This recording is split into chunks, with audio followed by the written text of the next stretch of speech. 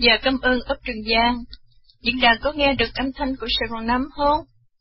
Dạ, ờ, hồi nãy uh, nghe anh Trường Giang mời Sài Gòn Năm sạc lên cái cho nên bị bị kẹt lại cái trở ngại cái mic chút xíu. À, bây giờ thì thì suôn sẻ rồi. Bây giờ Sài Gòn Năm tiếp tục nha. Tại vì lu bu quá suốt ngày hôm nay, rồi mở máy lên thì nghe đang nói về vấn đề ngày quân lực. À, Sài Gòn Năm thấy hồi hôm này đó, anh à, Trọng Nhân. Có có rất là khéo léo, anh nói mà anh rào đón dữ lắm.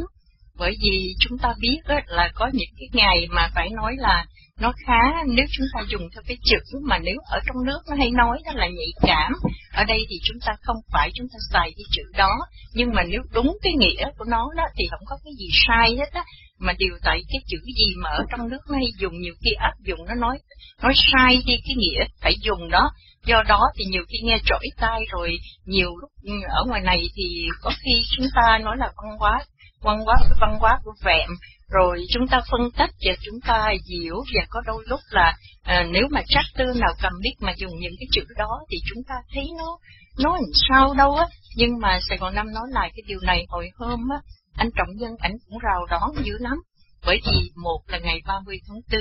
hai là ngày 19 tháng 6 hai cái ngày này là gần như hai cái ngày thiêng liêng mà đối với 30 tháng 4 đó là bất hận, mà đối với ngày 19 tháng 6 thì từ lúc mà mà mà đệ nhị cộng hòa và ra tới ở hải ngoại này đó, thì sau này để thì cứ mỗi năm 19 tháng 6 thì đều cử hành cái lễ kỷ niệm là bao nhiêu năm đó, thành lập ngày à, ngày ngày ngày quân lực của Việt Nam Cộng hòa. Do đó đó là có những cái gì, chỉ có ví dụ như sử dụng vợ mình cử hành vào cái ngày cuối tuần để cho nó sớm trước một hai ngày hay sau một hai ngày. Đó vì tình hình cái hoàn cảnh ở địa phương ở ở đây thì ở hải ngoại thì phải đi làm. Cho nên là chỉ có cái ngày cuối tuần nữa thì mới bà con mới có thể là chạy tới để tham dự cho nó đông đảo. Vì vậy đó mà mà ngày ngày quân lực ngày 19 tháng 6 thì dành riêng á, là cho quân đội do đó là trước trước giờ ít có ai mà đem phân tách ra mà nói tới cái điều này. Thì ví dụ ngay chính cái ngày quốc khánh mà Sài Gòn Năm vừa mở máy thì nghe anh Trường Giang nói đó ở ngày 26 tháng 10 đó thì đệ nhất Cộng Hòa. Coi như cái, cái ngày đó là cái ngày quốc khánh của đệ nhất Việt Nam Cộng Hòa. Nhưng mà sau cái cuộc chính biến, sau khi mà cái ngày 1 tháng 11 năm 1963 mà coi như sát hại mà à, anh em của cố tổng thống Ngô Đình Diệm đó, thì lúc bấy giờ đó là coi như là là là là là một thời gian sau đó lại dùng ngày 1 tháng 11 năm 1001 tháng 11 đó lại là cái ngày quốc khánh. Do đó cái nhiều khi nếu mà chúng ta đó là là là ủng hộ đó, chúng ta nhìn chúng ta thương xót để giúp cộng hòa thì chúng ta thấy cái ngày tang thương, cái ngày đau thương mà mà chấm dứt đó là cái đệ nhất Việt Nam Cộng Hòa lại đem làm cái ngày quốc khánh của trong cái thời kỳ đệ nhị Việt Nam Cộng Hòa. Nó có nhiều cái éo le lắm. Mà bây giờ nếu quay trở lại mà mà bạch quá rất là nhiều vấn đề đã được được được ờ, bạch quá rất là nhiều đó, thì lần hồi rồi đó là là là coi như là vấn đề của internet nữa, lại đi tìm hiểu và muốn trả lại những cái sự thật. Thì trong số đó nếu mà ca ngợi về cái cái thể chế đệ nhất Việt Nam Cộng Hòa về đức độ của ông ờ, Ngô Đình Diệm hay là tài, những cái tài giỏi của ông Ngô Đình Nhu, thì có một số người lại nói à lại là thuộc cái nhóm cần lao, thuộc cái nhóm nhân gì. Thì có người lại nói là cái tinh thần của Ngô Đình Diệm. Rồi trong khi đó những cái người, ví dụ như là người ta đưa ra những vấn đề nào là xảy ra những cái cuộc mà mà xuống đường rồi này kia đó là tại vì vấn đề kỳ thị về tôn giáo vấn đề này vấn đề kia dù cho có những cái lời để chứng minh nhưng mà phải nói mỗi người có một cái suy nghĩ và mỗi người theo cái cảm tính của mình theo cái đau đớn của mình và theo cái gắn bó của mình dưới mỗi cái cái thời kỳ của đệ nhất đệ nhị Việt Nam Cộng Hòa đó, thành ra có người binh, có người chống, rồi lại kết kết tội cho là những, vì vì sau này mất cái miền Nam rồi, thì phải nói đổ dồn lên là chính vì những cái người mà đứng lên mà đảo tránh đó, mà bây giờ người ta lại dùng cái chữ là loạn tướng. Dùng cái chữ loạn tướng. Thật sự bây giờ quý vị đó vẫn còn sống có có những gì vẫn còn sống đó trong cái cuộc mà đảo chánh nó vẫn còn sống đó chứ không phải không. Nhưng mà người ta cũng ray rất vô cùng và hầu như đó là Sài Gòn Năm để ý nha đi qua những cái tiểu bang mà Sài Gòn Năm đã đi qua. Từ lúc mà Sài Gòn Năm ra tới hải ngoại đó thì mỗi lần 19 tháng 6 ít bao giờ thấy có cái sự hiện diện của của của của, của những nhân vật mà đã có mặt trong còn sống nó đã có mặt trong những cái kỳ đảo chánh, mặc dầu tới năm nay thì họ già quá rồi, phần lớn thì cũng mất rồi, còn phần còn lại thì cũng đi vô nhà dưỡng lão hoặc giả là là là an phận hoặc giả là không có một cái sinh hoạt gì, bởi vì Sài Gòn Năm cũng hiểu đó là những cái say sức, đó là những cái ray rứt. Mỗi một hoàn cảnh nó có một cái thời điểm, nó có một cái tình huống nó khác nhau. Do đó nếu bây giờ chúng ta truy ngược trở lại chúng ta yêu cầu phải làm sáng tỏ để xác định được cái ngày nào chính thức là cái ngày quốc lực của Việt Nam Cộng Hòa, cái ngày nào là ngày chính thức, thì nó khó vô cùng. Cũng như đó, chúng ta nói để sau này, ví dụ như thế hệ sau này trẻ, nó lớn lên rồi, nó tìm lại những cái tài liệu, thì đệ nhất Cộng Hòa có những cái ngày, à, nói là cái ngày thành lập quân đội Việt Nam Cộng Hòa thời kỳ ngày trước khi mà thời kỳ mà trao trả, pháp trao trả lại, độc lập đó, pháp trao trả lại cho rồi từ từ thời kỳ của hoàng bảo đại đó, thì trong lúc đó thành lập là quân đội Việt Nam Cộng Hòa, chứ không phải quân lực Việt Nam Cộng Hòa. Mà tới cái ngày 19 tháng 6 đó, sau này đệ nhị Cộng Hòa đó, trong khi đó nếu mà chúng ta xem kỹ lại, mới là ngày quân lực Việt Nam Cộng Hòa. Đầu tiên là quân đội Việt Nam Cộng Hòa và sau này đó ngày từ đệ nhị Việt Nam Cộng Hòa đó thì mới là ngày quân lực Việt Nam Cộng Hòa, chọn cái ngày 19 tháng 6 là ngày quân lực Việt Nam Cộng Hòa với những cái sắc lệnh đó là được tổng thống ký. Thành ra qua đó rồi đó là tới khi có cái cuộc mật cái lần duyệt binh đầu tiên cử hành đó để công nhận cái ngày 19 tháng 6 mà cái cuộc duyệt binh đầu tiên đó là năm 1966 dù cái sắc lệnh ban hành nó là vào 19 tháng 6 là năm 1900 à, ờ, ờ, năm 1965 nhưng mà cái ngày 19 tháng 6 đầu tiên mà duyệt binh nó cử hành diễn hành đó là coi như cái long trọng đó là ngày 19 tháng 6 năm 1966. Thành ra qua đó đó là cái cái cái hồi thời điểm nhất Việt Nam Cộng Hòa là quân đội quốc gia Việt Nam. Đúng đó anh Trường Giang. Bây giờ thì ờ, quý cô chú anh chị em bình tĩnh nha, vì vì chỉ còn có là 35 phút thôi. Đáng lẽ ra Sài Gòn năm phải nếu tới sớm hơn có anh Trường Giang ghi âm đó, thì để chúng ta thấy hai cái tài liệu. Một cái là chỉ nói về nghĩa là cái ý nghĩa mà tại sao có ngày 19 tháng 6 thì kéo đi nghĩa là coi như trong cái suy nghĩ của những người cái bằng bằng cái dòng tư tưởng nó không có quay ngược cũng nói về quân sự nói về từ cái ngày mà cái pháp trao trả lại à, độc lập cho Việt Nam từ thời của Hoàng Bảo Đại rồi từ chính phủ Trần Trọng Kim rồi này kia rồi đi dần tới rồi cho tới định về tới hiệp định Geneva rồi cho tới mà thời kỳ đòi đệ nhất Việt Nam Cộng hòa thủ tướng Ngô Đình Diệm này kia rồi đi dần dần dần tới. Nhưng mà có một cái tài liệu tại vì có một cái những bài viết sau này đó của ông Nguyễn Phi Thọ đó mà ngày hôm qua ớt đó ờ, ớt cô thân dạng Lý Du đó có tái lên hỏi Sài Gòn năm trong lúc mà anh Trọng Nhân đang chia sẻ đó, thì test lên hỏi chứ là là là tài liệu mà của Nguyễn Phi Thọ đó cho biết là cái ngày 26 tháng 10, ở cái ngày 19 tháng 6 là ngày quân lực Việt Nam Cộng Hòa của các loạn tướng. Thành ra qua đó hỏi chứ Sài Gòn năm nghỉ sao? Thành ra như vậy đó thì mời quý cô chú anh chị em chịu khó chút chắc có lẽ nửa tiếng đồng hồ thì chắc cũng được cái tài, cái tài liệu của ông Nguyễn Phi Thọ. Chúng ta nghe để rồi chúng ta suy nghĩ, chứ không phải chúng ta chưa có dội kết luận. Bởi vì mỗi người một ý, mỗi người một cái cách nhìn, mỗi người mà kêu bằng sống trong một cái hoàn cảnh mà có những người bình thương tiếc, hai cái thời điểm nhất địa nhị Cộng Hòa đều có cái hay và cũng có đôi chút cái nhược ở trong đó, non trẻ quá mà, chứ chưa phải là hoàn chỉnh, nhưng mà nó vẫn hay nó vẫn đẹp và nó vẫn để cho chúng ta hãnh diện rất là nhiều trong hai thời kỳ mà của đệ nhất và đệ nhị Việt Nam Cộng Hòa. Chúng ta nhìn như vậy chứ chúng ta đừng khai thác,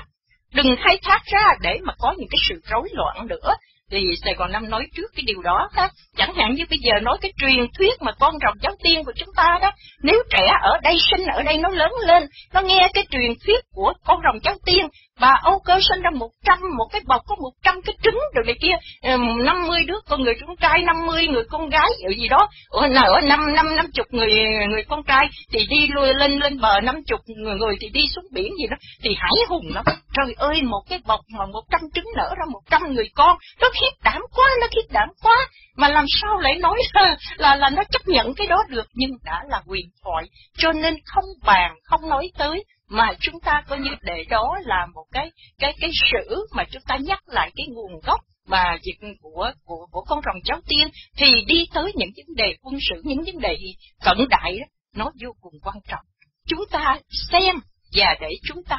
chắc lọc ra những cái điều nào và làm sao đừng có để cho nó đi tới mất đoàn kết nữa. Đừng có để bị khai thác nữa bởi vì những cái ngày 30 tháng 4 rồi còn lại cái ngày 19 tháng 6 đó là những cái ngày chúng ta ôm ấp và hàng năm để chúng ta gợi nhớ, để chúng ta tri ân, mà cũng như để nhớ tới ngày 30 tháng 4 đó là quốc hận, mà vì cộng bây giờ nó cay cú lắm. Mỗi khi chúng ta tổ chức một cái gì, những cái hai cái event lớn đó, thì nó cay cú vô cùng, cho nên đừng có để cho họ khai thác. Thì à, bây giờ Sài Gòn Năm à, xin chia sẻ cái phần này nhé mời quý cô chú anh chị em cùng nghe. Cái tựa bài là cần xét lại ý nghĩa, đó là là là là cần xét lại ý nghĩa đích thực ngày quân lực 19 tháng 6. Họ đánh hai ba cái dấu hỏi rồi có hai ba cái dấu chấm than. Bài viết đó, bài phân tích đó của ông tác giả là Nguyễn Phi Thọ. Ông mới nhắc lại, điều một trong sáu điều tâm niệm của người chiến sĩ Việt Nam Cộng Hòa. Tôi nguyện chấp nhận mọi hy sinh gian khổ để chiến đấu bảo vệ cho sự sống còn của Tổ quốc, của gia đình và của chính bản thân tôi cứ mỗi lần ngày 19 tháng 6 trong năm lại tới. Những người cựu quân nhân của quân lực Việt Nam Cộng Hòa thường tổ chức đại lễ để tưởng nhớ tới người lính miền Nam, một thời quá khứ oai hùng, chiến đấu trên bốn vùng chiến thuật, bảo vệ tổ quốc và gìn giữ an ninh, mang lại yên bình cho đồng bào miền Nam. Thế nhưng, không mấy người lính biết rõ nguồn gốc ai đã thành lập ra ngày quân lực và tại sao có ngày quân lực.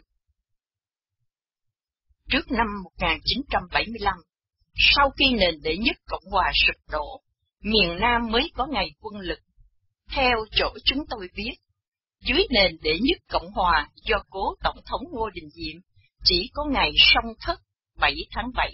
ngày quốc khánh đệ nhất Cộng hòa 26 tháng 10 và cũng là ngày quân đội miền Nam được thực sự thành lập sau khi được trao lại từ tay người Pháp dưới danh xưng mới quân lực Việt Nam Cộng Hòa.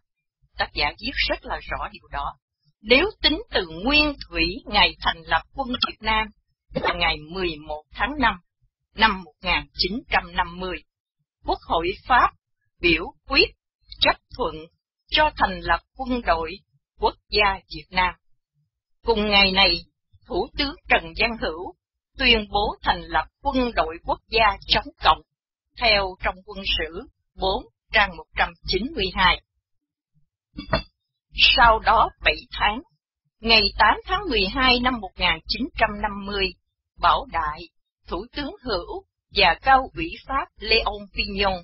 ký một thỏa ước thành lập quân đội quốc gia Việt Nam nhưng Tổng tư lệnh quân đội Pháp ở Đông Dương lại chỉ huy quân đội quốc gia Việt Nam. Ngày 10 tháng 2 năm 1955, quyền chỉ huy quân đội miền Nam được Pháp trao lại cho Việt Nam, theo như tác giả là Đoàn Thêm, vào năm 1945 đến năm 1964, trang 162. Chúng tôi xin nói sơ qua những biến cố lịch sử từ tháng 11 năm 1963, khi một nhóm tướng lãnh đã đảo chánh và giết chết vị tổng tư lệnh của mình, miền Nam rơi vào một tình trạng giống như thập nhị sứ quân bên Tàu. Đó là một giai đoạn thật đáng buồn cho quân dân miền Nam. Những biến động đau thương này kéo dài cho đến năm 1965. Sau khi Tổng thống Diệm bị giết, Ông Dương Văn Minh lên nắm quyền với chức vụ là Trung tướng Chủ tịch Hội đồng Quân nhân Cách mạng. Hội đồng chỉ sống được ba tháng. Trung tướng Nguyễn Khánh đảo tránh và tự phong mình lên làm quốc trưởng. Sau sáu tháng, ngày 16 tháng 8 năm 1964, họ kéo nhau xuống Vũng Tàu thành lập Hội đồng quân đội cách mạng với một hiến chương mới, còn gọi là Diễn Trương Dũng Tàu.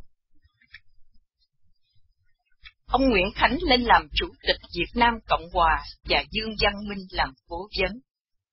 Hiến chương chào đời chưa được bao lâu, Nguyễn Khánh bị chống đối dữ dội, nhất là phía Phật giáo và giới sinh viên. Những cuộc chống đối tương tự lan tràn ra tới miền Trung. Cuối cùng, tướng Nguyễn Khánh chịu không nổi, nên ông ta phải xuất hiện, tuyên bố hủy bỏ hiến chương, rồi từ chức. Tháng 8, Hội đồng quân đội cách mạng hợp bầu người quốc trưởng. Nguyễn Khánh làm thủ tướng, và ông Trần Thiện Khiêm chỉ huy quân đội. Một tháng sau, chính phủ này thành lập Ban Thượng Hội đồng Quốc gia, lãnh đạo quốc gia, để trao quyền, quân đội lại trở về vị trí chiến đấu, bảo vệ đất nước. Mặc dù nói là trao quyền lại cho dân, nhưng thực tế, Ủy ban lãnh đạo quốc gia được nắm giữ là những tướng lãnh trong quân đội. Dương Văn Minh làm chủ tịch. Tình hình vẫn tiếp tục xáo trộn qua vụ tướng Dương Văn Đức và tướng Lâm Văn Phát điều quân nổi loạn. Cuộc nổi loạn được Hội đồng quân đội cách mạng yểm trợ ngầm, nhưng chết yểu trong bình yên. Ông Dương Văn Đức tuyên bố chỉ là một cuộc biểu dương mà thôi. Tháng 9 năm 1964, ông Phan Khắc Sửu được bầu làm chủ tịch Thượng Hội đồng. Hội đồng quốc gia có quyền để thực hiện các cơ chế quốc gia, chọn quốc trưởng. Ông Phan Khắc Sửu lại làm quốc trưởng. Ngày hôm sau, ông Nguyễn Xuân Chữ, hai ông Phan Khắc Sửu, làm chủ tịch Hội đồng Quốc gia. Ông Nguyễn Khánh rút lui khỏi chính trường. Tháng 11, Dương Văn Minh được thăng đại tướng. Một ngày sau, Nguyễn Khánh cũng lên đại tướng. Các tướng lãnh được chinh thăng chức tước liên tục, nên quân đội thời bấy giờ có rất nhiều tướng trẻ. Ông Nguyễn Khánh bị áp lực phải thành lập hội đồng quân lực để giải quyết những vấn đề quan trọng của đất nước. Tổng tư lệnh mất quyền bính. Ông Nguyễn Khánh có chân lớn trong hội đồng quân lực để tính chuyện cho mình trong tương lai. Chưa được mấy ngày, Hội đồng quân lực tuyên bố giải tán chính phủ Phan Khắc Sửu, chỉ tín nhiệm cá nhân ông Sửu và ông Trần Văn Hương làm thủ tướng. Thủ tướng Trần Văn Hương lại bị phản đối. Hội đồng quân lực lại mất tín nhiệm giải tán luôn chính phủ. Ông Nguyễn Khánh được quyền đứng ra giải quyết chuyện đất nước. Ông Phan Khắc Sửu vẫn tiếp tục tại chức. Ông Nguyễn Khánh lên nắm quyền và phong cho ông Phan Huy Quát lên làm thủ tướng Đại tá Phạm Ngọc Thảo và Lâm Văn Phát đảo tránh. Phật giáo và sinh viên chống đối, đảo tránh bất thành. Ông Phạm Ngọc Thảo đào thoát. Hội đồng quân lực lại rút phế Nguyễn Khánh để giao quyền cho Trung tướng Trần Văn Minh lên làm tổng tư lệnh quân lực. Ông Dương Văn Minh đi làm đại sứ Thái Lan, ông Nguyễn Khánh làm đại sứ lưu động. Nói chung, sau khi hạ sát vị tổng tư lệnh nền đệ nhất Cộng Hòa, nhóm tính tướng lãnh chỉ không có chuyên về vấn đề chính trị, nhưng mục đích là tranh giành chức tước ngôi vị biến thành những người thao túng đường lối quốc gia, hoạch định mọi chuyện chống cộng để biến miền Nam Việt Nam thành một đất nước không còn chủ quyền sau này. Mặc dù chính quyền mang tiếng là dân sự do ông Phan Huy Quát làm thủ tướng, nhưng những bất đồng xảy ra giữa ông Phan Khắc Sửu và ông Phan Huy Quát tiếp tục trong tình trạng hỗn quân hỗn quan đó, các đoàn thể chính trị, tôn giáo, sinh viên đồng loạt phản đối ông Phan Huy Quát. Quân đội trở lại chính trường, để rồi có ngày quân lực 19 tháng 6. Chúng tôi xin mời độc giả đọc một cái đoạn trích viết về ngày quân lực của tác giả là Trần Gia Phụng như sau. Ngày quân lực 19 tháng 6 Theo tác giả Trần Gia Phụng Ngày 25 tháng 5 năm 1965,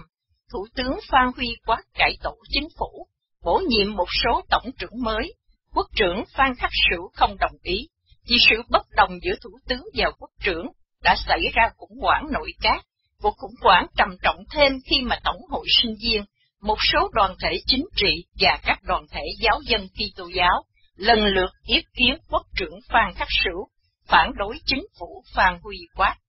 Theo tác giả Nguyễn Trân, Công và Tội, Những sự thật lịch sử, California xuất bản nhà xuất bản Xuân Thu năm 1992, từ trang 542 đến trang 544. Ông Nguyễn Trân là hội viên Hội đồng Quốc gia lập pháp có mặt trong cuộc họp này. Ngày 9 tháng 6 năm 1965, Thủ tướng Phan Huy Quát họp báo, tường trình về cuộc khủng hoảng chính trị và đề nghị các tướng lĩnh đứng ra làm trung gian để giữ thế quân bình cho đến khi có một chính phủ dân cử. Trong cuộc họp tối 11 tháng 6 năm 1965, các tướng lãnh áp lực quốc trưởng Phan Khắc Sửu, Thủ tướng Phan Huy Quát cùng Hội đồng Quốc gia Lâm lập pháp giao trả lại quân đội trách nhiệm và quyền lãnh đạo quốc gia mà Hội đồng quân lực đã ủy thác cho chính phủ dân sự. Vừa vì bất đồng, dựa vì áp lực của các tướng lãnh, quốc trưởng Phan Khắc Sửu, Thủ tướng Phan Huy Quát và Chủ tịch Hội đồng Quốc gia lập pháp Phạm Xuân Chiểu đồng ký bản tuyên cáo ngày 11 tháng 6 năm 1965, nguyên văn như sau. Sau khi duyệt lại tình trạng ngày càng một khẩn trương của đất nước, sau khi đã xét lại và nhận xác nhận rằng những cơ cấu và thể chế quốc gia hiện tại không còn phù hợp với tình thế, sau khi đã hội ý cùng toàn thể tướng lãnh quân đội Việt Nam Cộng Hòa tại Phủ Thủ tướng ngày 11 tháng 6 năm 1965, chúng tôi, Quốc trưởng Việt Nam Cộng Hòa, Hội đồng Quốc gia lập pháp,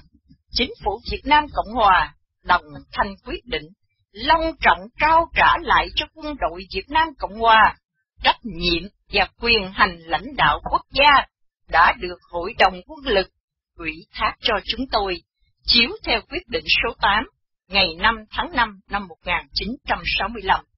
tuyên cáo số 7 ngày 5 tháng 5 năm 1965, quyết định số 5 ngày 16 tháng 2 năm 1965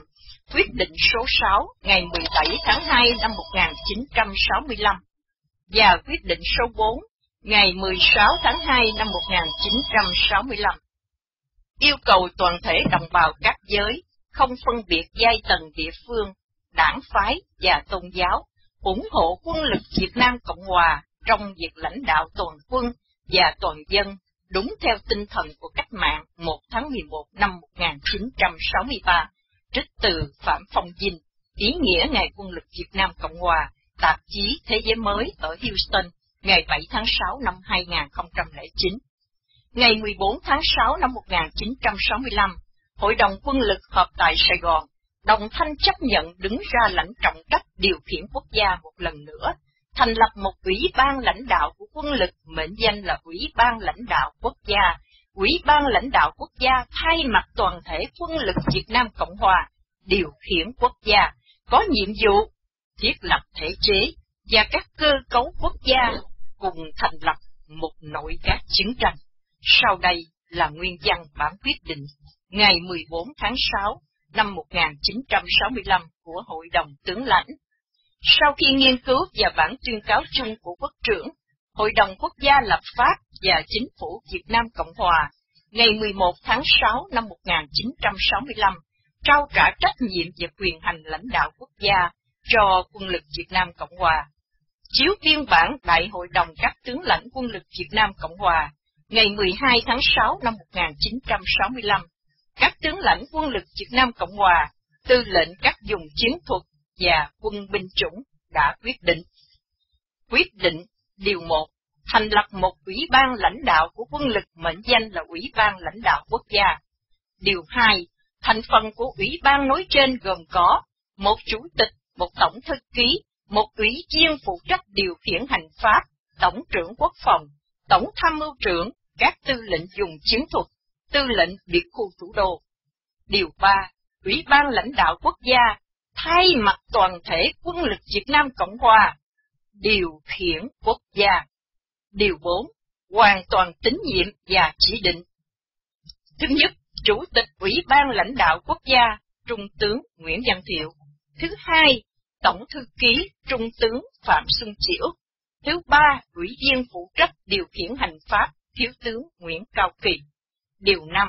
Ủy ban lãnh đạo quốc gia có nhiệm vụ thiết lập thể chế và các cơ cấu quốc gia cùng thành lập một nội các chiến tranh.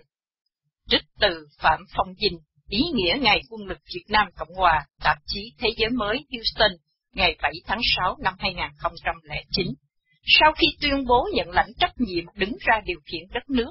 các tướng lãnh đề cử Trung tướng Nguyễn Văn Thiệu giữ chức Chủ tịch Ủy ban lãnh đạo quốc gia, nhiệm vụ và quyền hành quốc trưởng, Trung tướng Phạm Xuân Chiểu làm Tổng Thư ký Ủy ban lãnh đạo quốc gia, Thiếu tướng Nguyễn Cao Kỳ là Ủy viên phụ trách điều khiển hành pháp, nhiệm vụ và quyền hành Thủ tướng. Ngày 19 tháng 6 năm 1965 Hội đồng quân lực quyết định giải tán Hội đồng quốc gia lập pháp. Theo quyết định số 4, quân lực Việt Nam Cộng Hòa ban hành ước pháp tạm thời gồm 7 thiên 25 điều và thiết lập các tổ chức Đại hội đồng quân lực, Ủy ban lãnh đạo quốc gia, Ủy ban hành pháp trung ương, Hội đồng an ninh quốc gia, Hội đồng kinh tế và xã hội, Thượng hội đồng thẩm phán quyết định số 5, quân lực Việt Nam Cộng Hòa. Chủ tịch Ủy ban lãnh đạo quốc gia Nguyễn Văn Thiệu liền ký sắc lệnh 001 trên A trên CT trên LD QG thành lập nội các chiến tranh gọi là Ủy ban Hành pháp Trung ương. Đại hội đồng quân lực gồm tất cả các tướng lãnh trong quân lực Việt trong quân đội Việt Nam Cộng Hòa. Ủy ban lãnh đạo quốc gia gồm Trung tướng Nguyễn Văn Thiệu là chủ tịch, Trung tướng Phạm Xuân Chiểu tổng thư ký, Thiếu tướng Nguyễn Cao Kỳ ủy viên hành pháp, Tổng trưởng Quốc phòng, Tổng trưởng Tham mưu trưởng, Tổng Tham mưu trưởng, bốn tư lệnh, bốn dùng chiến thuật và tư lệnh biệt khu thủ đô. Ủy ban hành pháp trung ương do Trung tướng Nguyễn Văn Thiệu bổ nhiệm bằng sắc lệnh số 001 trên A trên CT trên LD QC ngày 19 tháng 6. Ngoài chủ tịch là thiếu tướng Nguyễn Cao Kỳ còn có 5 tổng ủy viên, 10 ủy viên và hai thứ ủy. Khác với những lần đảo chánh hay chỉnh lý trước đây, lần này do tranh chấp giữa các chính khách dân sự và với sự thỏa thuận của phía chính phủ dân sự các tướng lãnh ra nắm chính quyền. Từ đây, ngày 19 tháng 6, được xem là ngày kỷ niệm quân lực Việt Nam Cộng Hòa nắm chính quyền và thường được gọi là Ngày quân lực, trích từ Diệt sử Đại Cương tập 6. Ngừng trích.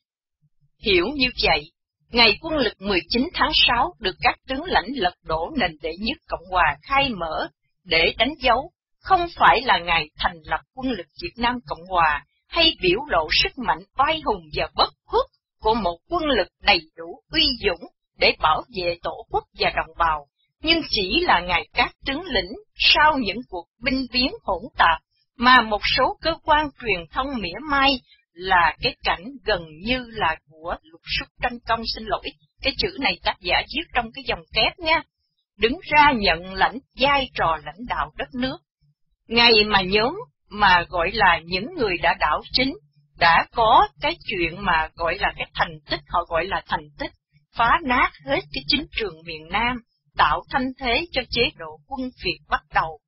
Thì đó là cái suy nghĩ của tác giả là Nguyễn Phi Thọ thôi nha. Ông viết tiếp, cuộc diễn binh đầu tiên đánh dấu ngày quân lực 19 tháng 6 được diễn ra rất lớn trên đường Trần Hưng Đạo ở Sài Gòn vào năm 1966. Cuộc diễn binh này cũng còn có ý nghĩa để cho đó là người ta gọi là đẩy ra oai để dằn mặt các tổ chức, các đảng phái chính trị và tôn giáo muốn âm mưu đứng ra lãnh đạo đất nước.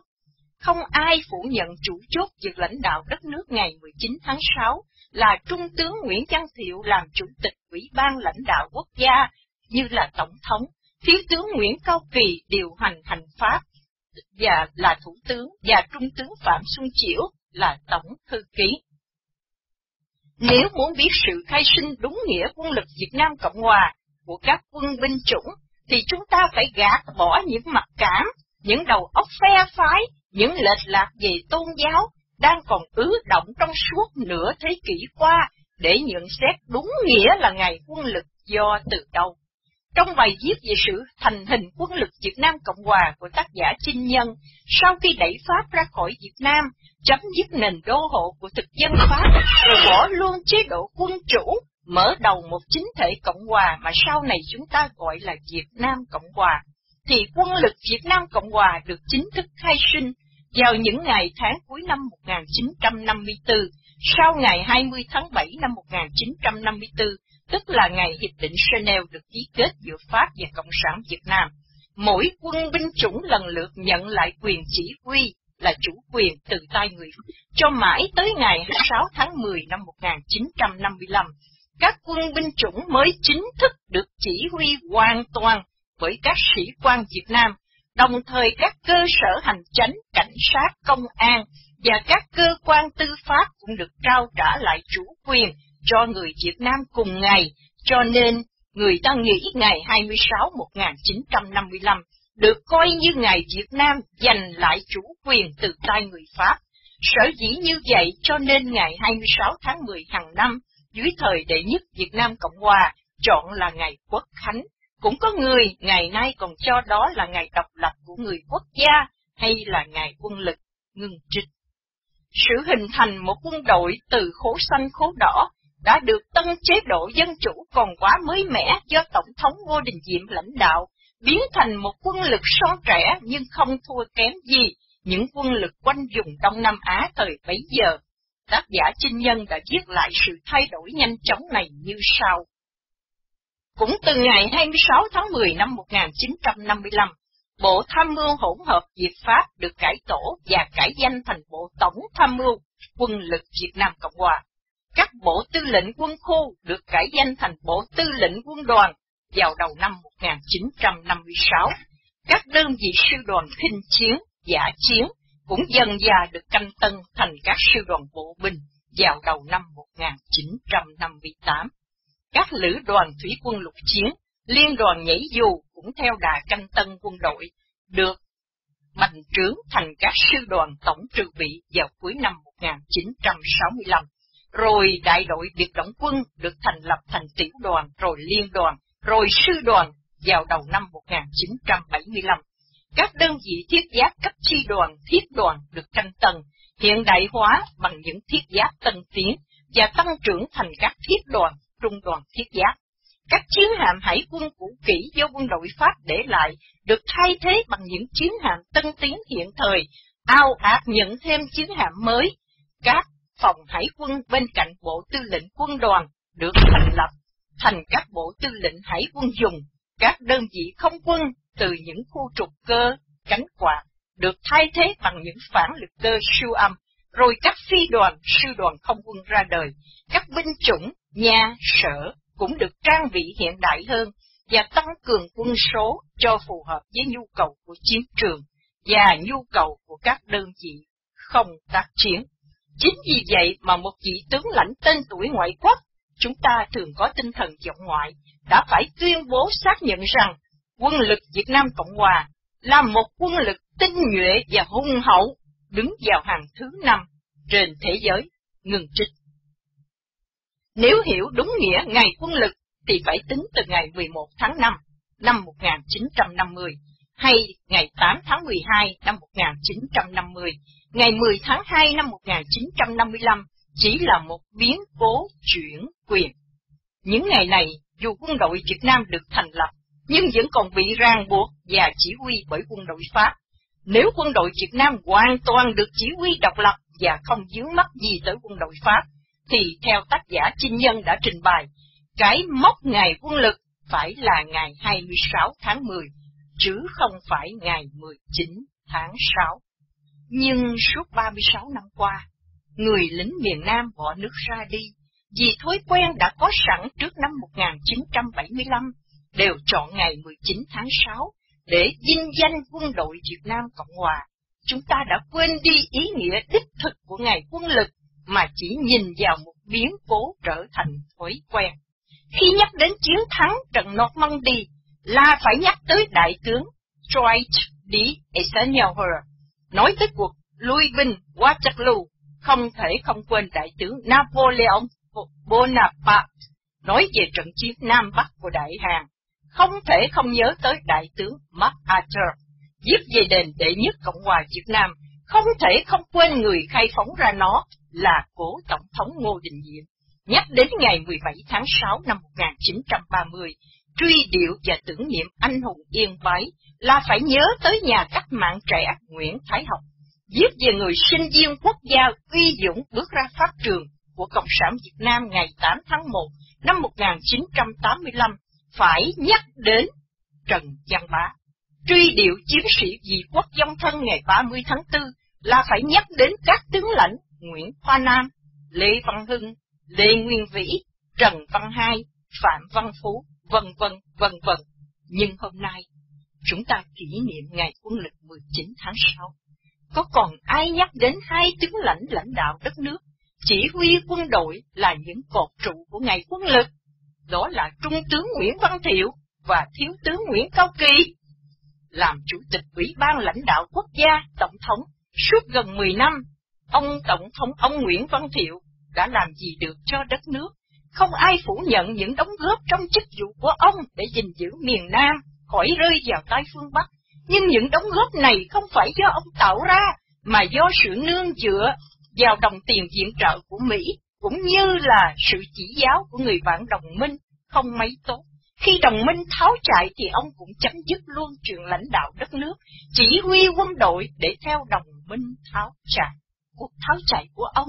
cũng đồng nghĩa như là một cuộc đào ngũ Đào ngũ có tính toán, có sắp xếp, đào thoát được sự tiếp tay của người bạn đồng minh phản đội bội.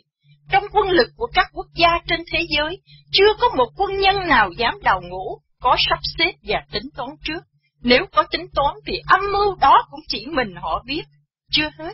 ông Thiệu là một tổng tư lệnh quân lực.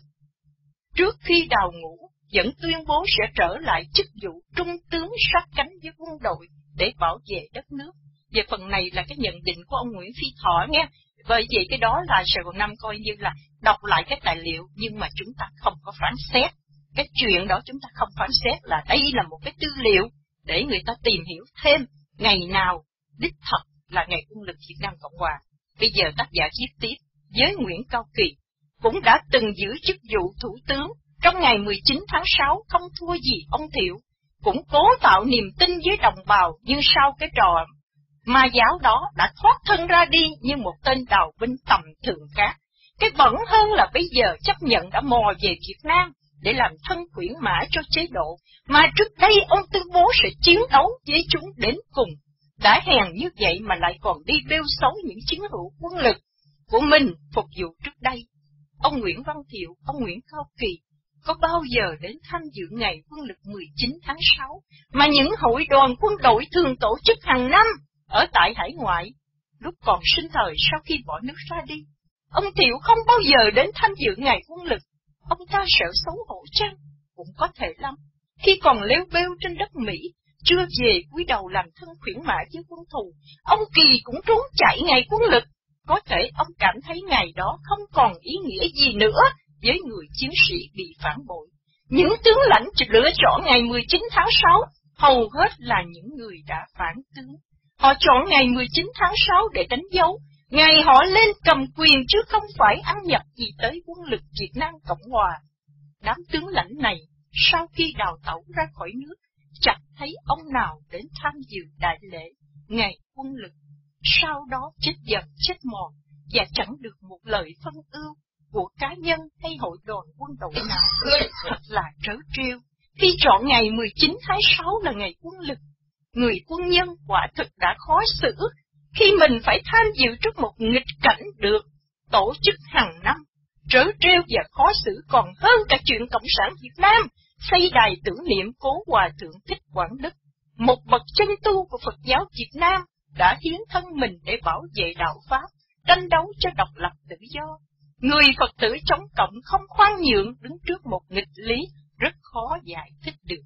Các hội đoàn quân đội chỉ chú tâm tới ngày quân lực, nhưng không màng chi tới những thế hệ kế tiếp,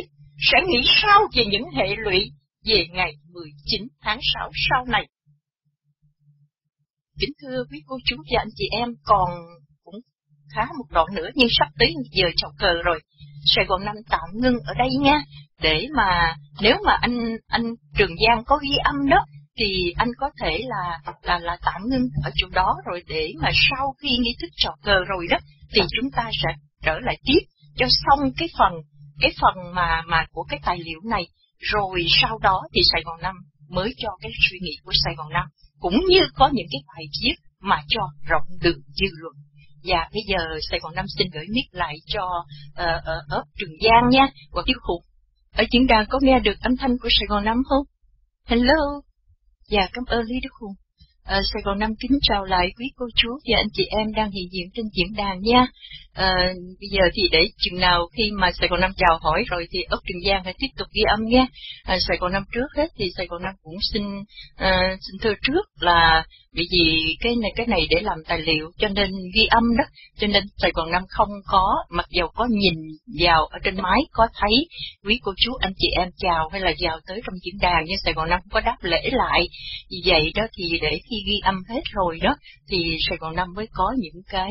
cái phân tách Tại vì đây là Sài Gòn Năm ngày mai thì Sài Gòn Năm phải đi rồi, đi suốt một tuần mà lại trong cái cái ngày 19 tháng 6 à, sắp tới thì Sài Gòn Năm cũng có trụ liệu, cho nên có có có trao đổi với ấp Lý Đức Hùng. À, vì ngay mấy ngày hôm đó không có gặp à, ấp Trường Giang với khác cái giờ, thành ra qua đó thì định nhờ ấp Lý Đức Hùng ghi âm rồi để đó là một cái audio à, trong cái cái ngày lễ mà kỷ niệm ngày quân lực Việt Nam Cộng Hòa của diễn đàn đó, nhưng mà đây là một cái tài liệu để chúng ta tham khảo, chứ chúng ta không có chỉ trích, chúng ta không có chỉ trích, bởi vì đó cũng như tác giả đã có ghi những cái phần trong này, thật sự thì Sài Gòn Năm sẽ đưa tới cái cái cái bài này Sài Gòn Năm cũng tìm trên Google, chứ Sài Gòn Năm không có thấy cái link, nhưng tìm từ trong cái Google và chọn lọc lại để mà mà có thêm những cái cái cái cái ý kiến mà chúng ta tìm hiểu, chứ không phải là để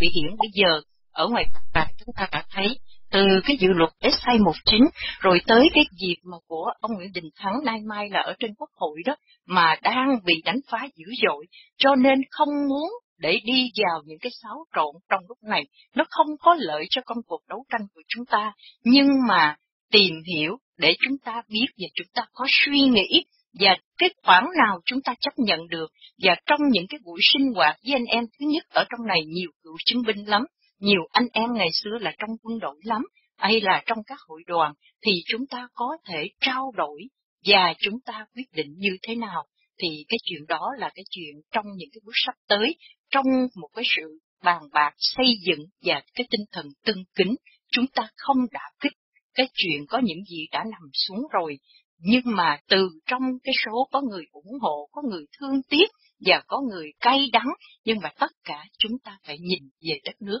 Bây giờ xin cảm ơn và Sài Gòn Năm để tiếp tục cái phần ghi âm nhé. Bây giờ cho phép Sài Gòn Năm được xin tiếp được tiếp tục được. À, bắt đầu được chưa anh Trường Giang? Khi nào anh Trường Giang nói được rồi thì Sài Gòn Năm sẽ đọc. Rồi mai đây, những chiến sĩ Mỹ gốc Việt từ cấp tá sẽ có cấp tướng đến người lính. Họ hỏi bậc cha anh ngày quân lực của quân đội Việt Nam Cộng Hòa từ đâu mà có? Ai là người khai phóng ra nó? Những chiến công nào quân lực của bậc cha anh đã đạt được? Chúng ta sẽ trả lời làm sao với họ? Hay là chúng ta chỉ biết ú ớ, ngày quân lực là ngày quân lực, hoặc liều mạng để giải thích ngày quân lực rằng đó là ngày các tướng tá đã hất chân chính phủ dân sự, chia phe chia đảng nhảy vào lãnh đạo đất nước. Ngày biểu dương uy quyền của các ông con trời làm cách mạng bằng mũi súng và lựu đạn, cảnh cáo đảng phái chính trị đừng hồng lãng quản xả thân ra cứu nước. Nhưng đến khi tổ quốc lâm chung, thì những ông trời con này cao bay tháo chạy, người lính chúng tôi chỉ biến đánh giặc theo lệnh cấp trên. Không biết những người lính bị buộc buông súng bất hạnh này, họ nghĩ sao về ngày quân lực 19 tháng 6? Họ hãnh diện hay họ uất hận trong lòng, uất hận và bàng hoàng vì những người khai sinh ra nó toàn là những người đã phản bội lại, đã lừa bịp đồng bào rồi giết con bỏ chợ À, xin mở ngoặt ở đây là cái nhận xét riêng. Cái bài viết đây là theo suy nghĩ của tác giả là Nguyễn Phi Thọ nha. Sài Gòn Năm đọc cái tài liệu, nhưng Sài Gòn Năm chưa có bình phẩm gì ở chỗ này. Sài Gòn Năm tiếp tục. Người cựu quân nhân bây giờ chỉ biết buông xuôi theo những gì đàn anh hoặc cấp bậc chỉ huy cũ của họ bày ra. Họ không còn có sự lựa chọn thứ hai. Cho đến ngày 19 tháng 6 là có diễn hành, có áo mão cất đai, kim cung, kiếm cung đầy người để biểu dương sức mạnh quân đội. Dù biết tập thể quân đội này không còn đoàn kết, tập thể này đã phải tan hàng. Tại sao chúng ta lại cứ ôm khư khư cái ngày 19 tháng 6 phải là ngày quân lực, nó nói lên được điều gì, nhưng cần phải nói lên sự thật, cho lớp hậu duệ biết, thì lại dướng vào chuyện trớ trêu như chúng tôi đã nói ở trên. Quân lực Việt Nam Cộng Hòa còn biết bao nhiêu ngày có lý do chính đáng để kỷ niệm đúng nghĩa của ngày quân lực. Nếu người ta vì mặc cảm với chế độ đệ nhất Cộng Hòa hoặc với người đã có công đầu thành lập ra quân lực này, thì thôi, để yên cửa yên nhà cũng đành vậy. Nhưng họ không thể tránh né sự thật để lừa bịp người chiến sĩ mà nay đã gác kiếm cung. Những chiến công oai hùng của các tướng lãnh tài ba, những trận đánh lông trời lỡ đất cả thế giới căm phục như Bình Long, như An Lộc, như Bình Giả, như Đồng Xoài, như Đắc Tô, như khe xanh,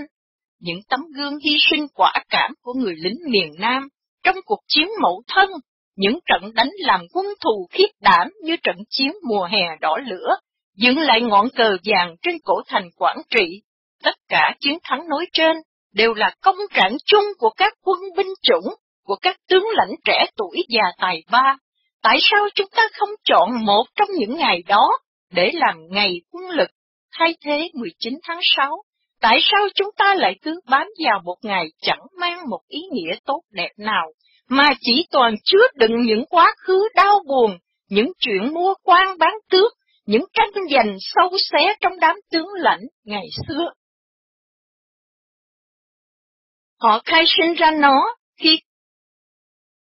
còn ngồi trên đầu dân quân đó sau khi đào thoát ra ở nước ngoài. Chúng ta không thể gì mặc cảm để phải đồng hóa họ là biểu tượng cho quân lực Việt Nam Cộng Hòa, nên không ai dám tách rời ngày 19 tháng 6 ra khỏi ngày quân lực. Chúng tôi không dám phản đối, nhưng hoàn toàn cổ võ và tán đồng kỷ niệm ngày quân lực. Đó là ngày cần có, cần làm và cần tưởng nhớ để vinh danh một quân lực đứng vào hàng đầu Đông Nam Á, hàng thứ năm trên thế giới, nhưng chúng tôi là những cựu quân nhân chỉ cảm thấy không hài lòng vì biết rằng ngày 19 tháng đã mất ý. Người Việt Nam Cộng Hòa có bổn phận phải bảo vệ tổ quốc và trách nhiệm, gìn giữ yên bình cho đồng bào, nhưng thời thế đổi thay. Cầm quân, cầm súng trong tay, mà không giữ được nước, không bảo vệ được dân, nay bỏ nước ra đi, để dân ở lại chịu muôn vàng đắng cay, những tướng lãnh của ngày 19 tháng 6 năm nào giờ đây đúng ra phải tạ tội với dân với nước từ sau ngày 30 tháng 4 năm 1975. Nó càng đau hơn, đó là ngày các đầu não trong quân lực. Trung tướng Nguyễn Văn Thiệu chuẩn bị giao miền Nam cho Cộng quân, Đại tướng Trần Thiện Khiêm đào thoát, Đại tướng Cao Văn Diên giải ngũ. Khi quân thù đang tới, Thiếu tướng Nguyễn Cao Kỳ gặp gẫm đồng bào, Đại tướng Dương Văn Minh tuyên bố đầu hàng, và rất nhiều cấp chỉ huy bỏ chạy, để lại người lính bơ vơ, không ai chỉ huy. Ngày 30 tháng 4, phải là ngày người dân đứng ra lo chuyện tưởng nhớ đến quê hương dân tộc. Người lính phải tiếp tay với dân, và cũng nhân cơ hội này để cầu nguyện cho những chiến sĩ đã chết cho Tổ quốc nhất là những chiến sĩ phải chết trong những giờ phút cuối cùng của miền Nam, rơi vào tay quân thù phương Bắc. Sau cùng, đây cũng chính là ngày đối diện với đồng bào để tạ tội với họ. Một ngày buồn của quân đội như thế, thì làm sao người cựu chiến binh có thể diễn vào những bộ đồ nhà binh thẳng nếp, những bộ đại lễ vừa mới mang về từ tiệm giặt ủi, những dây biểu chương vàng rực rỡ, những huy chương lóng lánh trên ngực, những cấp bậc úy, tá trên cầu dai, súng ống đầy mình, có đoàn rước quốc quân kỳ kèm theo những khúc quân hành xé tay. Những hình thức này hoàn toàn không thích hợp cho ngày 30 tháng 4, nhưng nên dành lại cho ngày quân lực. Dù có giải thích thế nào chăng nữa, chúng ta phải chấp nhận, chúng ta đã bại trận trên chiến trường, nhưng không bại trận trong tâm hồn của mỗi cá nhân người chiến sĩ. Tinh thần bất khuất của người lính miền Nam vẫn còn ghi mãi trong sự sanh. Chính vì ý nghĩa đó, chúng ta mới chọn đúng ngày quân lực để biểu dương tinh thần này. Nhưng chúng ta đã chọn lầm ngày 19 tháng 6. Đó không phải là ngày nói lên tinh thần vì nước, vì dân của người chiến sĩ Việt Nam Cộng Hòa. Nhưng bước tới ngày quân lực, đó mới chính là ngày của người chiến sĩ Việt Nam Cộng Hòa năm nào.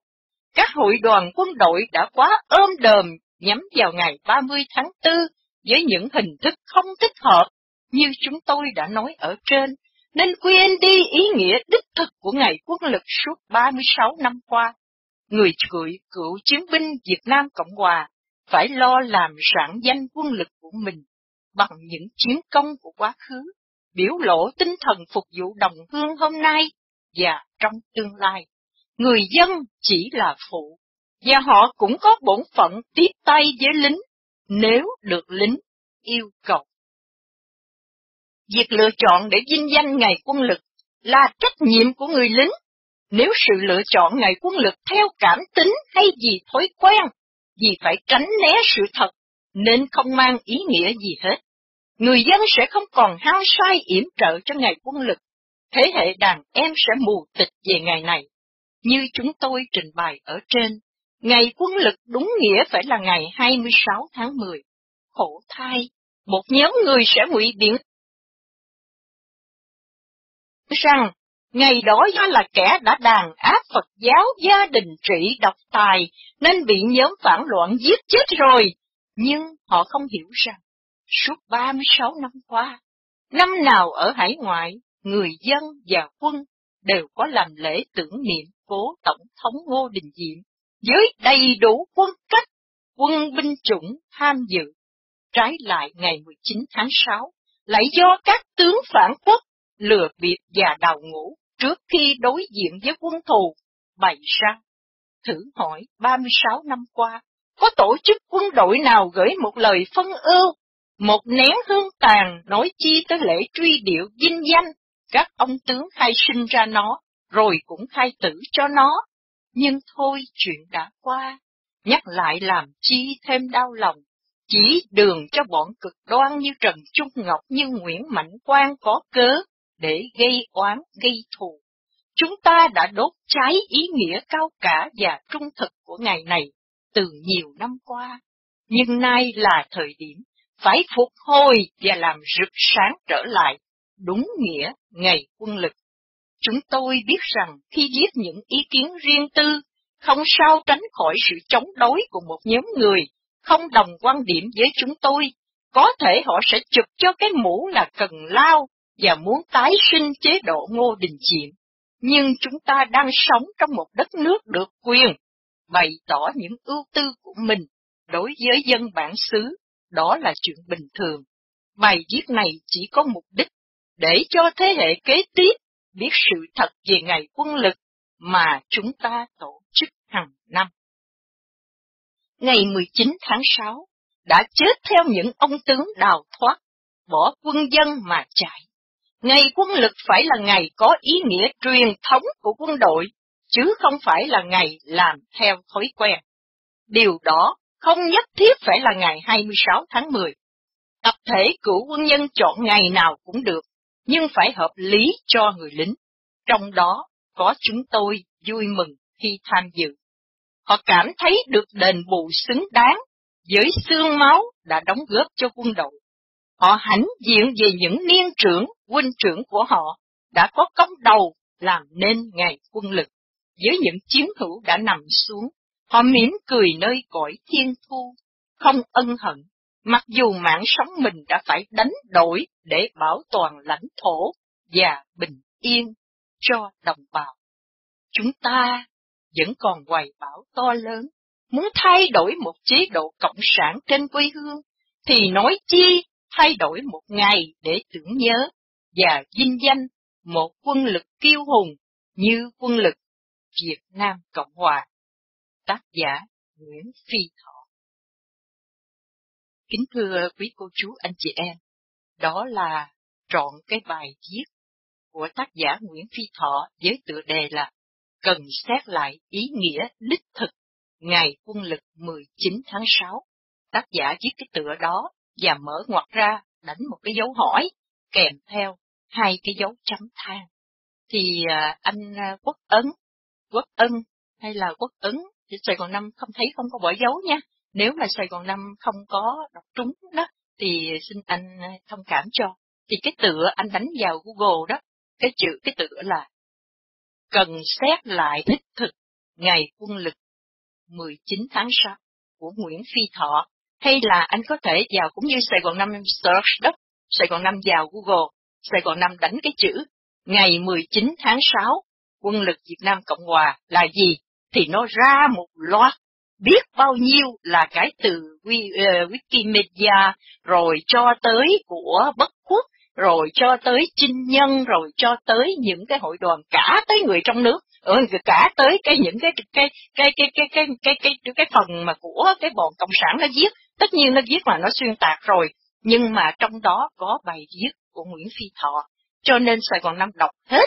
tất cả những cái phần mà Sài Gòn Năm search đó để Sài Gòn Năm so sánh chất lọc lại thì đây mới chỉ là một tài liệu thôi, tại vì muốn để mà kêu bằng có một cái tài liệu mà chắc chắn là với cái topic để là kỷ niệm Ngày Quân lực Việt Nam Cộng Hòa 19 tháng 6 năm 2015 đó, thì tất nhiên đó là nhiều vị của quân nhân trong này hay là quý ớt cũng đều có truy, có tìm thêm những cái tài liệu mà hàng năm đó là ở địa phương đó đã tổ chức ở San Jose, ở Nam Cali, ở tất cả tiểu bang nào cũng có và Houston cũng chuẩn bị đây. Thành ra qua đó những cái cái cái cái ban tổ chức những hội đoàn mà quân đội đó mà được chỉ định mà trong là trưởng ban tổ chức đó thì cái người trưởng ban sẽ lên đọc về quân sử có khi thì người ta mời một cái người à, sĩ quan cao cấp nhất ở tại địa phương còn sống đó thì để thay cái mặt lên đọc cái cái cái cái cái cái về cái uh, quân sử mà cái, cái ý nghĩa của ngày 19 tháng 6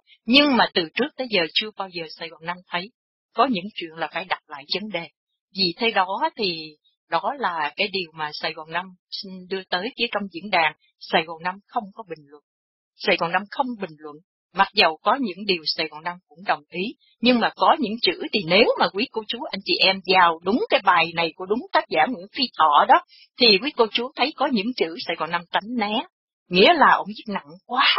ông viết nặng quá về những cái người mà coi như là ông Nguyễn Văn Thiệu hay là nhóm mà đã đảo tránh đó, ông viết nặng cho nên Sài Gòn Năm cố lách, cố né. Những cái khi nào mà đọc một bài ở trên diễn đàn Sài Gòn Năm phải đọc trước hết, chứ không phải chụp được cái bài mà Sài Gòn Năm lên đọc cho nên nhiều khi đó là mình cũng giật mình, mình nói điều đó sẽ gây ra những cái ngộ nhận hay là gây tranh cãi người thương người ghét, làm có những cái điều mà không hay, cho nên Sài Gòn Năm phải đọc trước. Vì vậy nếu mà cái bài này, cái audio này mà tác giả Nguyễn Phi Thọ có nghe đó, thì xin thông cảm với Sài Gòn Năm. Khi mà Sài Gòn Năm phải bớt đi những cái chữ mà tác giả phải viết trong dòng kép, hay khi tác giả không có viết trong dòng kép, mà dùng những cái chữ nặng quá. Thành ra có lẽ đó là những cái út ức của một người lính chiến, mà khi muốn cái bằng quay trở lại cái đúng ý nghĩa, cái những cái cái cái cái điều mà những ngày đầu tiên mà thời kỳ đệ nhất Việt Nam Cộng Hòa là đã thành lập ra quân đội của quốc gia Việt Nam có từ bao giờ. Cho nên đó là khi mà chấm dứt đó, cái cái cái bằng cái cái cái cái cái cuộc mà thảm sát hai anh em của cố tổng thống Ngô Đình Diệm đó thì đi tới mà chúng ta đọc lại trong chính đề đó chính ông cố vấn Ngô Đình Du ông cũng nói nếu mà để miền Nam mất vào tay cộng sản Bắc Việt thì một ngày không xa cái chuyện nước Việt Nam sẽ lọt vào tay Trung Cộng đó là cái điều dĩ nhiên. Ông viết từ cách nay gần sáu bảy chục năm mà thấy đúng rõ ràng. Khi mất miền Nam, khi Việt Nam Cộng Hòa mà mất vào tay Cộng sản Bắc Việt, thì tất nhiên mất cả nước Việt Nam, sẽ mất vào tay Trung Cộng, không xa. Điều đó rất đúng, cho nên nhìn, nhìn những cái điều đó và kèm theo những cái thời khắc mà đã trải qua sau 40 năm. Bởi vì ông viết bài này thì cách na trước đây 4 năm rồi, vì ông còn nhắc tới nhắc lui 36 năm đó, Sài Gòn năm phải đọc nguyên văn của ông, chỉ tránh những cái điều mà ông viết nặng quá, để mà viết tránh và phải nói nhắc chừng, đó là tác giả viết chứ không phải Sài Gòn năm. Sài Gòn năm không có bình phẩm, Sài Gòn năm không chỉ trích, mà đây chỉ cho chúng ta thêm những cái tư liệu để mà chúng ta có thể sau này nói chuyện với gia đình, nói chuyện với bạn bè thân hữu, bởi vì không không phải nhưng Sài Gòn muốn đưa tới để cho chúng ta có một cái suy nghĩ, có một cái suy nghĩ, chứ chúng ta không có bình luận. Bởi vì sao? Bởi vì chúng ta thấy hiện nay, ở ngoài hải ngoại này đó, thì các cựu quân nhân của chúng ta đó, thường phải giữ cái ngày này là cái ngày để mà các anh em cựu quân nhân đó, là chứ bằng còn ngồi lại với nhau. Mà nếu mà đem cái ngày này ra để mà công kích ngày quân lực đó, thì đó là giết tay thêm cho kẻ thù chung của dân tộc. Cũng như Sài Gòn Năm đã nói, đánh phá 219, đánh phá ông Nguyễn Đình Thắng của cái ngày 19 tháng 6. Mặc dầu ông Nguyễn Đình Thắng đã giải thích hồi hôm Sài Gòn Năm có chia sẻ trong cái giờ của chị Phong Lan, mà phải nói là nếu cái chuyện này đem ra mổ xẻ nữa, thì gây chia rẽ trong cái hàng ngũ quân nhân. Cũng như công kích đấy, cũng như ngày trước đây họ đã công kích cái bản quốc ca, người ta nói cái bản đó của Lưu Hữu Phước, rồi phải đòi thay đổi cái bản quốc ca, đó thì qua đó, đó chẳng khác nào, bây giờ lại đem trở lại, quay ngược trở lại, để mà cái bằng đưa ra những cái tình huống khác nhau, một bên chống, một bên thuận, mà nếu như vậy thì cả cộng đồng người Việt tị nạn Cộng sản phải tan nát thêm. Phải tan nát thêm, cho nên bây giờ không phải là cái lúc chúng ta bàn đến. Bây giờ không phải bàn đến, Sài Gòn Năm hy vọng như vậy. Chúng ta suy nghĩ chính chắn, thì chúng ta phải đón nhận, giống như là ở trong gia phả đã ghi như vậy, cũng như bây giờ là tiền nhân để lại, cũng như Sài Gòn năm đó cái quyền thoại con rồng cháu tiên đó, biểu mà thế hệ bây giờ nó công nhận làm sao nó công nhận, nó sẽ thấy thấy khiếp sợ, khi mà cái bằng sanh tới là sanh năm là đã thấy hải hùng rồi, mà huống chi một cái bọc trăm trứng, thành ra nở ra một trăm đứa con nữa, trời ơi khiếp đảm quá. Nhưng mà chúng ta giải thích sao với cái thế hệ trẻ đây, chúng ta coi như đó là quyền thoại,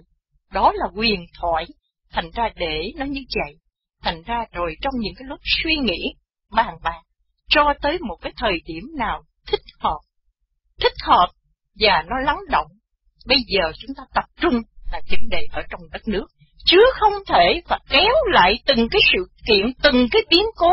để mà kết luận bên nào đúng, bên nào sai. Có những người đó lên tiếng là những cái điều mà đã đã đưa tới cái cái cái chuyện mà thảm thảm sát